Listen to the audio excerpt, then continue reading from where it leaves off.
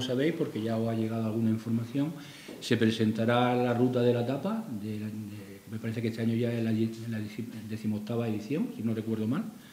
Y, además en esta ocasión vamos a intentar desde, desde tanto desde, por supuesto desde la administración local, pero también desde la administración provincial, pues hacerla más relevante porque como sabéis va a venir también la, la feria de primer aceite, del aceite temprano, y eso nos va a hacer revitalizar mucho estos próximos fines de semana la, la ciudad. ¿no?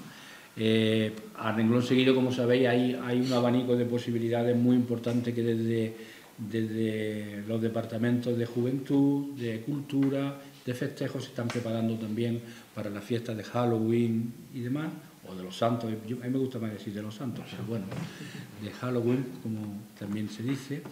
Y, y, es que, aunque tenemos muchas actividades, sobre todo de tipo cultural y de dinamización para el mes de noviembre, ya los esfuerzos más importantes, y si no que me corrija el concejal, eh, se están dedicando ya a la campaña de Navidad, que, que, parece que falta mucho, pero es casi un mes lo que nos queda para, para ponerla en marcha. ¿no?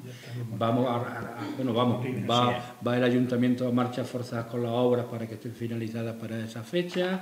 En fin, estamos concatenando todos los elementos para que este año sea de nuevo, o hagamos un cierre de año muy importante con todas estas campañas. Y además ya estamos preparando pues el inicio del siguiente porque tenemos que ver las rebajas, tenemos que ver la primavera que va a venir muy fuerte, según estamos trabajando, y en eso estamos. ¿sí?